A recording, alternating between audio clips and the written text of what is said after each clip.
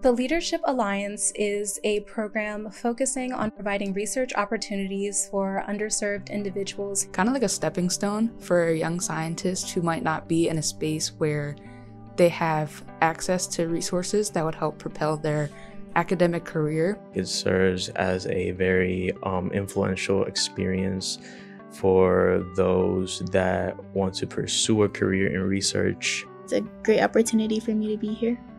The biggest thing for me as a takeaway this summer is just learning, I guess, how to interact with people in a lab, how to work together with others, seeing the kind of work that they're doing and how it relates to what I'm doing, even though I've only been a part of the lab for a summer. I can see the influence that I've had on the research that's being done, and that's really exciting for me and makes me want to further pursue research in the future.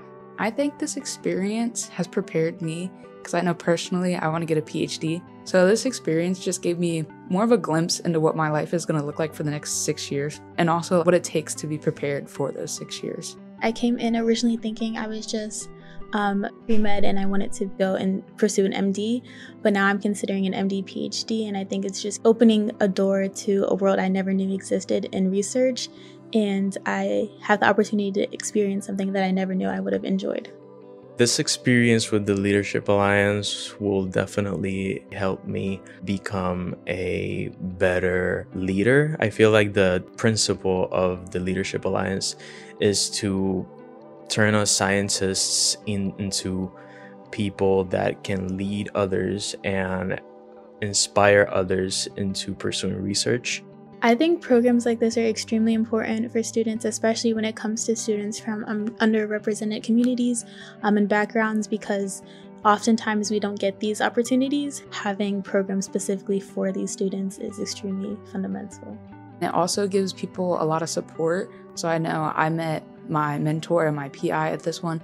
They're very supportive, and I, I hope and I think they will help me on my journey um, as I pursue my academic career and so I think with the Leadership Alliance, it's giving a lot of people that support system and just the ability to, to become the scientists they're meant to be.